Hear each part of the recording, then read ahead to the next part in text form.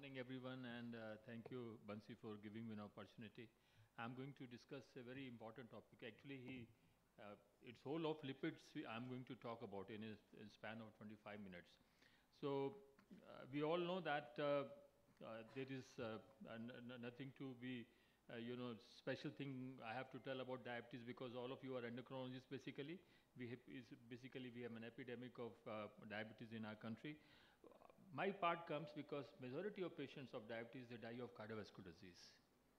The, and and majority of our diabetic patients are very poorly managed as far as dyslipidemia is concerned. Why dyslipidemia? Because uh, Interheart study shows that the, the population attributable risk of dyslipidemia to acute myocardial infarction is highest, it's around 50%. So it's a major contributor to acute myocardial infarction, uh, uh, universal. And 9 out of 10 patients of diabetes, they suffer from dyslipidemia.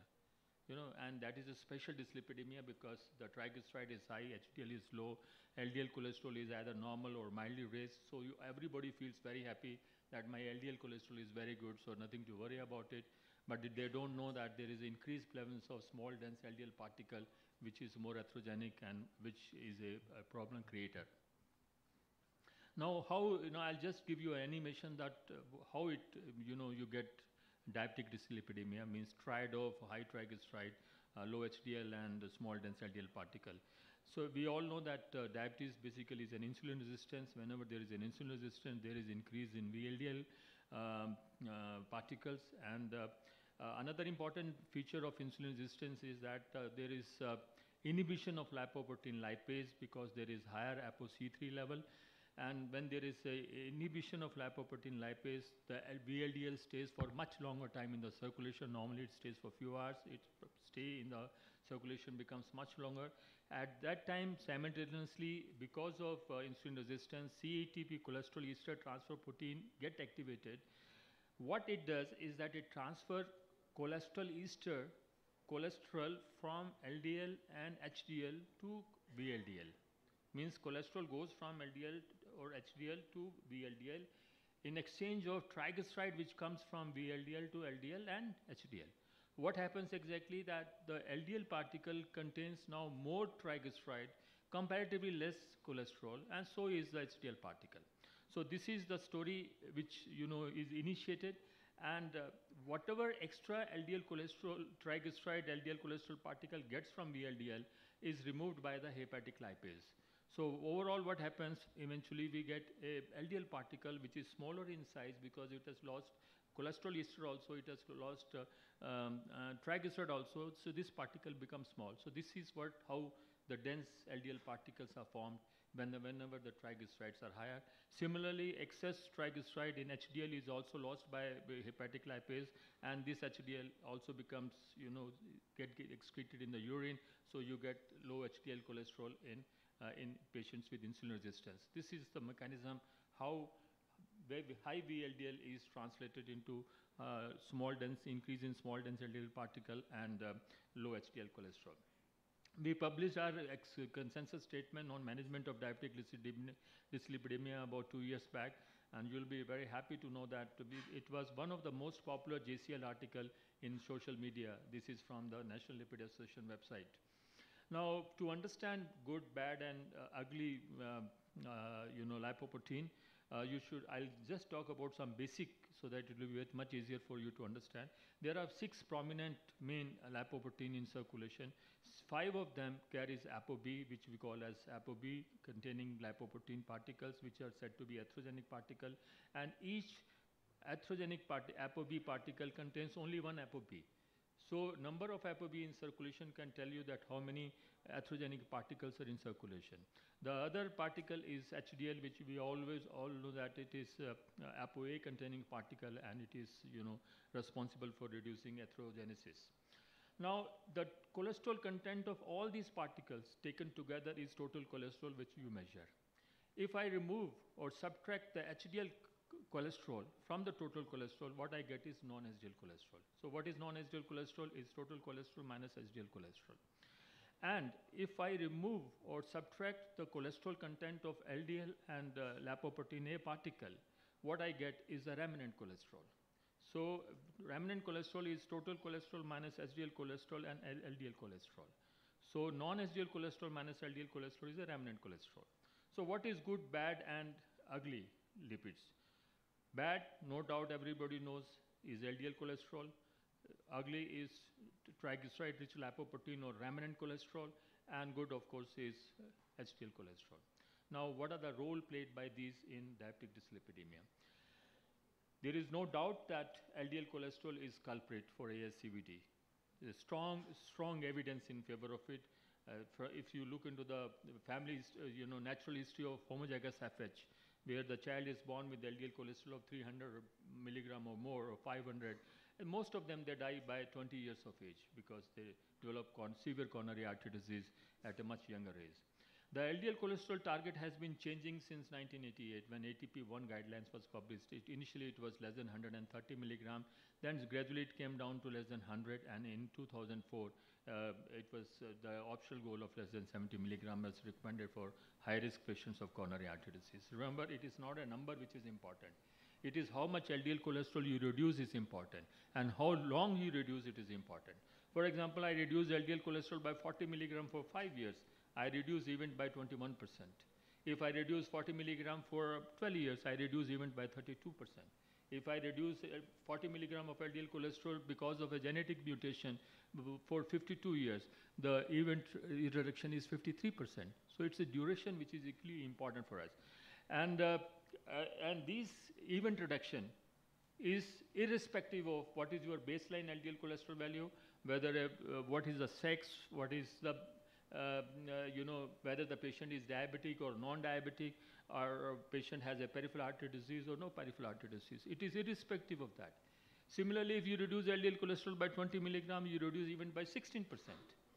You reduce LDL cholesterol by 10 milligram because of genetic mutation, you reduce even by 17%. If you reduce 5 milligram, you reduce even by about 7 to 8%. So each milligram of LDL cholesterol reduction is extremely important. Why it is extremely important for our country? Because we have in India, if you look into the facts of coronary artery disease, we have high prevalence of coronary artery disease. We have a high prevalence of premature coronary artery disease. You will be surprised that 25% of patients who presents with myocardial infarction, they are less than 40 years of age. And this memorial, uh, this uh, you know oration is for a doctor who died of sudden cardiac death in a young age. So that is one of the reasons is we, we, have to be very careful and we have to be very aggressive because our atherosclerosis is very aggressive. It progresses much faster.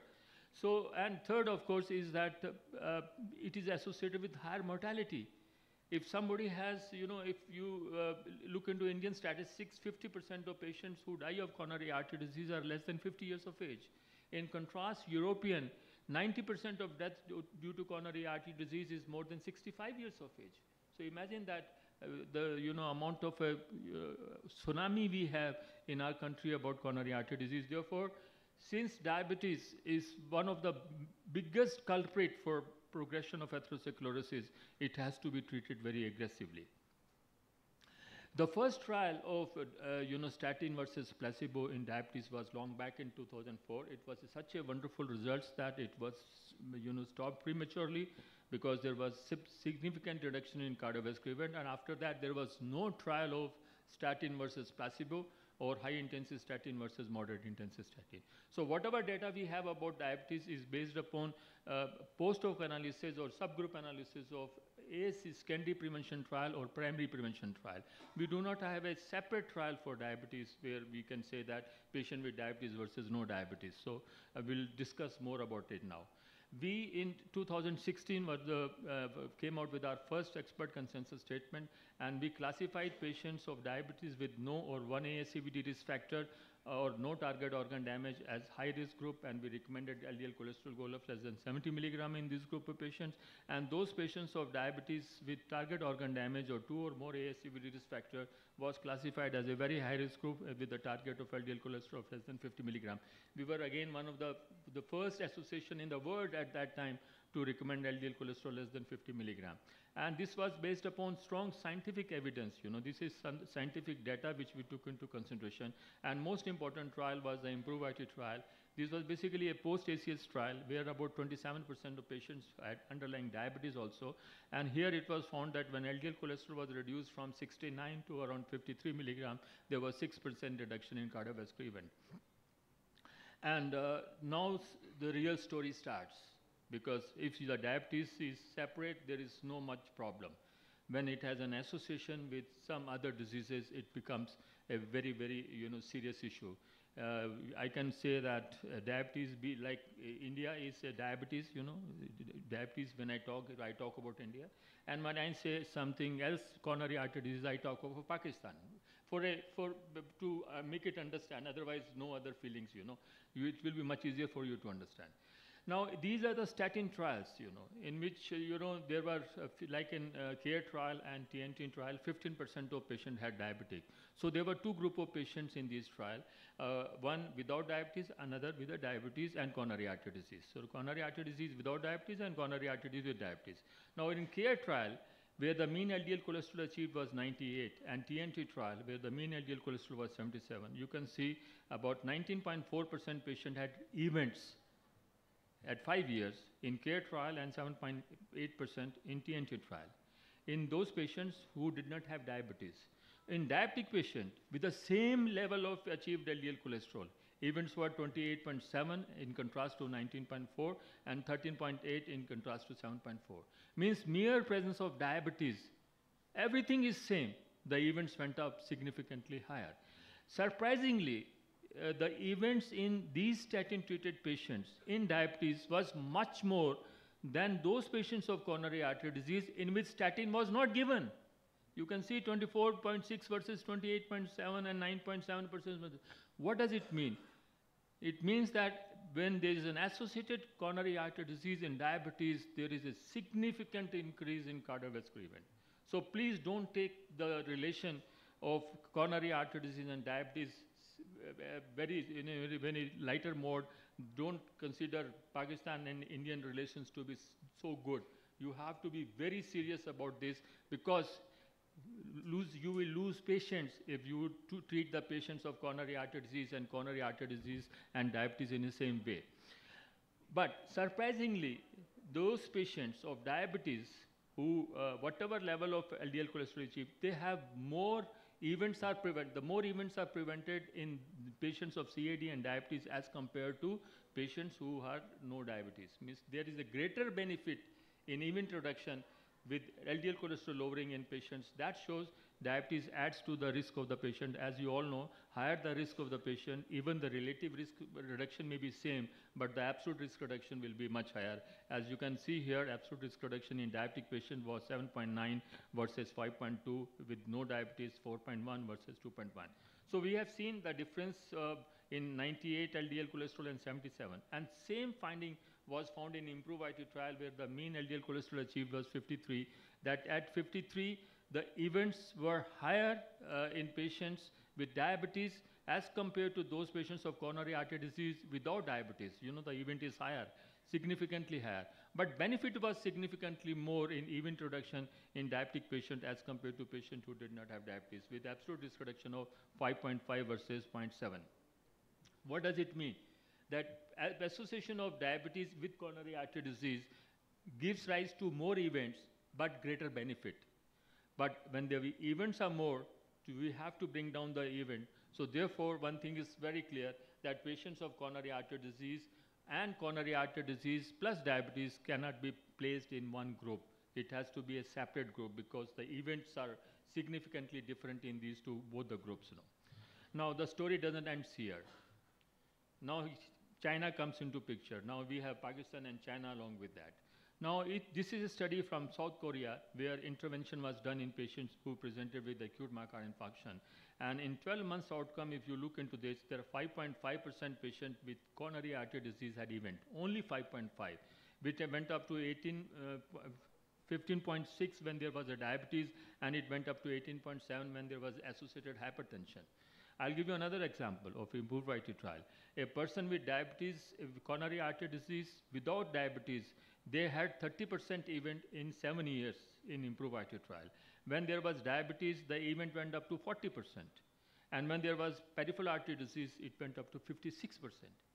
So this means adding more comorbidities to coronary artery disease and diabetes add further uh, increase in the cardiovascular event. Another example, reason why reason is this, that there is a very important trial which is a TRP secondary prevention TIMI 50 trial, where it was seen that the patients with coronary artery disease, when none of these nine risk indicators was present, which is shown in below, heart failure, hypertension, age more than 75, when none of these indicators was present in patient with coronary artery disease, only 3.5% of these patients had recurrent cardiovascular event in three years' time.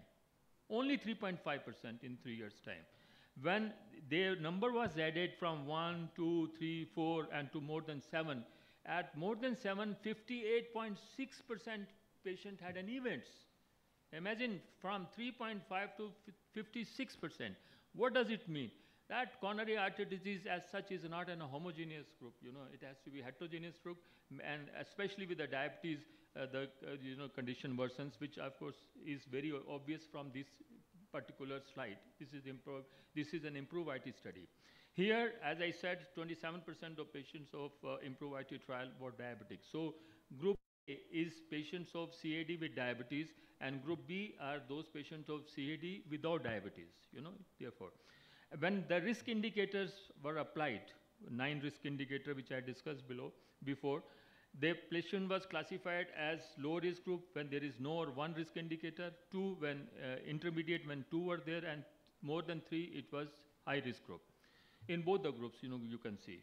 Now, in those patients of without diabetes, you can see that in low risk group and intermediate risk group, there was not much difference in uh, you know, uh, CV events in LDL cholesterol of 69 and 53 means absence of diabetes in a patient with coronary artery disease even if there is one or two risk indicator doesn't lead to much difference in uh, uh, you know change in the cardiovascular event but if there is an associated diabetes then those with one or two also makes a lot of difference you can see 17.9 versus uh, 11.7 in 0 to 1 group and 19.3 to 16.8 in the second group, intermediate group. So this means diabetic patients, they, if there are additional one or two uh, risk indicator leads to a further increase in cardiovascular event. And when three or more of them are present in both the group, the incidence of residual risk becomes much, much higher, significantly two to three times higher. Therefore, based upon this, we can now very clearly say that patients of CAD is one group, CAD and diabetes is second group, CAD plus diabetes with three or more risk indicators, third group. So there is a need for three groups. When I talk of coronary artery disease, you can equate this as patients of diabetes with target organ damage because the risk of diabetes and with target organ damage and coronary artery disease is practically the same, you know. So that is all. So what we did in 2023, we solved this problem and we created one new risk group, which was an extreme risk group. And this risk group was further categorized into those patients of ASCVD who had uh, one or more features of high risk group as category A, and those patients of uh, ASCVD who had one or more features of uh, very high risk group as category B. We were the, again only country or only association in the world to have category A and category B, and we uh, then we can stratify this based upon you know 10 year risk. If somebody has a 10 year risk of 20 to 29 percent, it falls into very high risk group. If it is between 30 to 39 percent, it is uh, uh, uh category A, and if it is more than 40 percent, it's category B. And we recommended LDL cholesterol goal of less than 50 for category A with the optional of less than 30. For category B, we recommended goal of LDL less than 30 milligram. We were again the first association in 2020 to recommend such an ultra low level of LDL cholesterol of 30 milligram. Again, this was based upon strong scientific evidence and the trial which we took into consideration was the Fourier trial. And there was a lot of post-hoc analysis and I'm not going to go into detail of it. One year after recommendation, National Lipid Association also for their South Asian population living in United States also created an extreme risk group and in diabetic patients they also proposed LDL cholesterol less than 30 milligram. It was just after one year of our recommendations. Now how to treat patients of diabetes? Uh, you know, uh, classify patients whether the patient has underlying ASCVD or no ASCVD. If a diabetic patients have no target organ damage or one or no ASCVD risk factor is classified as a high risk group with LDL cholesterol target of less than 70 milligram. If that patient has ASCVD, then that is classified as category A of extreme risk group with an optional uh, of goal of less than 30 milligram. If diabetic patients have target organ damage with two or more ASCVD risk factor, he falls into very high risk group with LDL cholesterol target of less than 50 milligram. And the patient, if he has a diabetes, has ASCVD, then he falls into category B with LDL cholesterol target of less than 30 milligram. This means patients of diabetes without ASCVD will either be high risk group or very high risk group, and target of patients of diabetes with ASCVD will be in category A or category B. Now, the story doesn't end here because 14.4% of patients of diabetes, despite uh, achieved LDL cholesterol of 30 milligram in Fourier trial had cardiovascular event. So we have to look beyond LDL cholesterol. And the other drug, which, which the lipoprotein which comes in mind of all of us is triglyceride. Uh, that, uh, what about the triglyceride? It was seen in PROVE-IT trial that even if the LDL cholesterol was achieved less than 70 milligram, those patients who have triglyceride more than 150 milligram have significantly higher event as compared to those in which the triglyceride was less than 150 milligram. But question comes, if we reduce triglyceride, does it translate into reduction in cardiovascular event? Answer was no, because the field trial and ACCORD trial was a negative trial. But when the subgroup analysis were done, it was found that those with the triglyceride more than 204 and HDL of 34, they had about 35% reduction in cardiovascular event. It's about 6% reduction in those who has a triglyceride less than 204 with HDL of 34. LAI recommends that triglyceride should be brought down to less than um, uh, 150, uh, but preferably less than 100. Remember one thing that whenever triglyceride is ra raised, always rule out secondary cause of dyslipidemia, hypertriglyceridemia. Extremely important. Whatever you may do, if there is a secondary cause, you will not be able to bring down triglyceride. And second, that lifestyle intervention plays a very important role in reduction of triglyceride. This is the algorithm which I am not going to discuss in detail. You can go. It's very nicely. We have told shown that how you should manage uh, the triglyceride more than 500 and less than 500. Now, we are talking about triglyceride, triglyceride. Is, is really triglyceride a culprit? Answer is yes or no. Majority says no. Yes. This is true because this meta-analysis shows that if you increase triglyceride by 30, uh, by 90 milligram, it increases even by 76% in women and 32% in men. It is non-adjusted. When it was adjusted, it from 176 it comes down to 137 and 132 it comes down to 1.14. When it was uh, adjusted for both HDL and non-HDL cholesterol, triglyceride loses its significance. Absolutely you can see a straight line. So this means what is non-HDL cholesterol because that is most important. Non-HDL cholesterol is the uh, you know total circulating atherogenic cholesterol in the in the circulation. At any level of LDL cholesterol, increase in HDL cholesterol is associated with high cardiovascular event. Rather, uh, this statin trial shows that if uh, with the reference of uh, uh, reference uh, is LDL of less than 100 and non-HDL of less than 130 milligram. This is the reference. Means so these are normal range. If that LDL is less than 100, but non-HDL is more than 130, there is 32% events. As compared to those patients where non-HDL is less than 130 and LDL is more than 100. So that shows that in statin-treated patient, it is a non-HDL cholesterol which, is, uh, which uh, tells you about the future cardiovascular event. Recommendation is it should be treated as strongly as possible. Remnant cholesterol, I have already discussed about what is the remnant cholesterol. And in TNT trial, it was found that if the remnant cholesterol is more than 39, there is a 49, 48% increase in event as compared to those with a remnant cholesterol less than uh, 19 milligrams. So that shows the importance. And this is independent of LDL cholesterol. It adds to the risk of LDL cholesterol. ApoB, as I said, each atherogenic particle carries one ApoB and inter-heart studies shows a strong positive linear relationship of ApoB to ApoA ratio with coronary artery disease and therefore we, LAI has strongly recommended ApoB as, as a secondary target. If possible, it should be routinely done at age 20 if, it is, if, if a person is able to afford. The summary of ugly uh, lipids is extremely important for you to understand. Elevated triglyceride level adjusted for HDL, non-HDL cholesterol and ApoB loses their significance. So if you have achieved non-HDL cholesterol level, if you achieve ApoB level, even if triglyceride is raised, please forget about it. Nothing is going to happen to the patient. That should be a clear message uh, to uh, all of you. And if you, somebody wants discussion, we can always discuss later on. And always try to achieve LDL cholesterol, non-HDL cholesterol, and ApoB uh, target when you treat patients with dyslipidemia. HDL is controversial uh, because it is a complex molecule uh, because if uh, it, it, consists of Uh, hundreds of uh, thousands of lipids, uh, um, more, more than 70 different proteins, more than 10 subclasses, if any of the protein become dysfunctional, uh, this whole molecule becomes dysfunctional. And worst part of HDL is that when it becomes dysfunctional, it becomes atherogenic. It loses, it, it behaves in absolutely reverse gear. It harms you.